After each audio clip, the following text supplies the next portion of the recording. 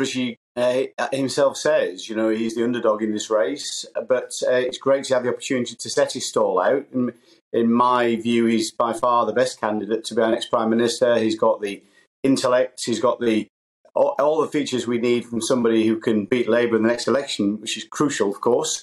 Um, he is a genuine, authentic Brexiteer. That's the most important thing right now. I think we need somebody who understands Brexit, who campaigned for Brexit, and somebody who can make the most of it. Because I think there's a world of opportunity out there, but we need somebody who can really deliver on that opportunity. But can he deliver on that messaging? Because, well, the question I ask you is why do you think the party aren't supporting him? He's laid out that stall already, but for some reason it's not gaining traction.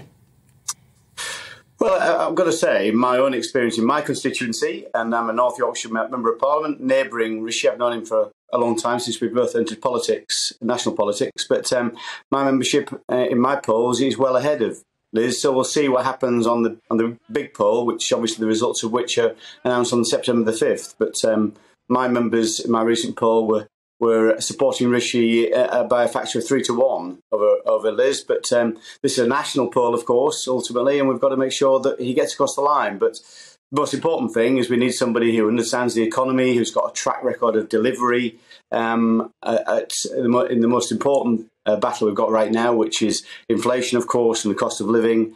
Rishi has proven himself time and time again over the last two years, dealing with two huge crises in this country. First of all, the COVID crisis, uh, and now the cost of living crisis. I think he's got the intellect and the and the ideas and the ability to innovate and implement, which is absolutely critical in all walks of life, but not, not least politics. What do you make of some of the, the criticisms of his persona? Number one, that he's sort of too slick uh, and not so uh, approachable and too polished. And the second one being that he really was part of the, the, the manufacturing of the downfall of Boris Johnson. I, hear this stuff about being too slick. If, if people mean is he too good, um, I think he's really, really good actually. And in terms of his personal characteristics, um, well, I tell you, he's the first a, a, cabinet minister I have known who knows my kids' names. They all love him. I've seen him in his constituency talking to people of all different backgrounds, uh, different ilks. He's fantastic with people. He's he's just a really decent honest, straightforward person, in my view. Um, he's got real uh, personal ability to connect with people personally, as well as to express his ideas and articulate them very clearly. Um, so, uh, so no, I, I, don't really get that characterization of him. So, uh, in my view, he's the right person. So he's got the right personal characteristics as well as the intellect and and um, the ability to innovate we talk about his sort of personal characteristics, but the weekend really has been one of robust sort of mudslinging, both candidates really attacking the other.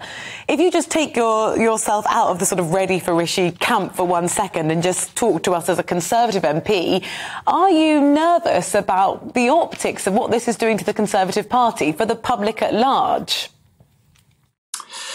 Well, listen, this, this, is bound to be a robust debate, and it should be about the issues, not about the uh, personal. It should be per, about personal attacks. Um, I've got to say, one of the TV debates I saw uh, a couple of weeks ago, um, the presenter asked the audience who was more likely to vote Conservative after hearing that debate. There was more candidates involved at that stage, and I think ten, surprisingly, I think for the from the pre- presenter's perspective, ten people raised their hands and said they were more likely to vote Conservatives.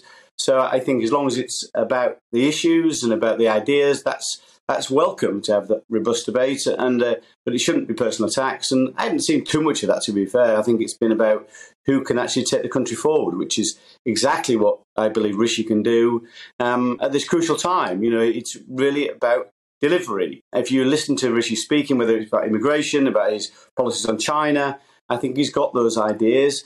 Crucially, it's not just about ideas, it's about the ability to implement. And I, if you see what Rishi's done in terms of running the economy, uh, implementing all those schemes into, that help businesses and millions and millions, protecting millions of jobs over the last couple of years, he's got the abilities not just to think about the ideas, but to put the, those ideas in practice. One issue you haven't mentioned there is the NHS, and this report is on the front cover of many of the papers talking about the greatest staffing crisis to the NHS. Just briefly, Rishi will have the floor tonight at the debate. What's his pitch to say? I'm going to protect the National Health Service.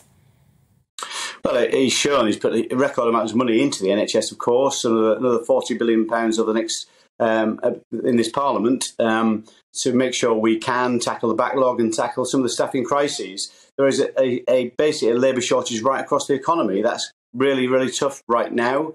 But um, I say Rishi's uh, the person who can come up with the ideas and, and implement them. I think crucially, what we've got to do is make sure the NHS is more efficient, that it's less managerial, more practical, delivers more from um, you, from the money we have available. It can't just be about more and more money. It's got to be much more efficient than it is today, and that's really about putting best practice management in place. Rishi's got an MBA from Stanford University. he understands what we need to do to be, to make sure we can do that, but um, just needs that time and uh, and the opportunity in number ten to be able to put these things in, in place. But it's, there's no doubt it is going to be a tough battle on many different fronts over the next few years. And that's why we need the right pair of hands, a safe pair of hands to be able to take this forward.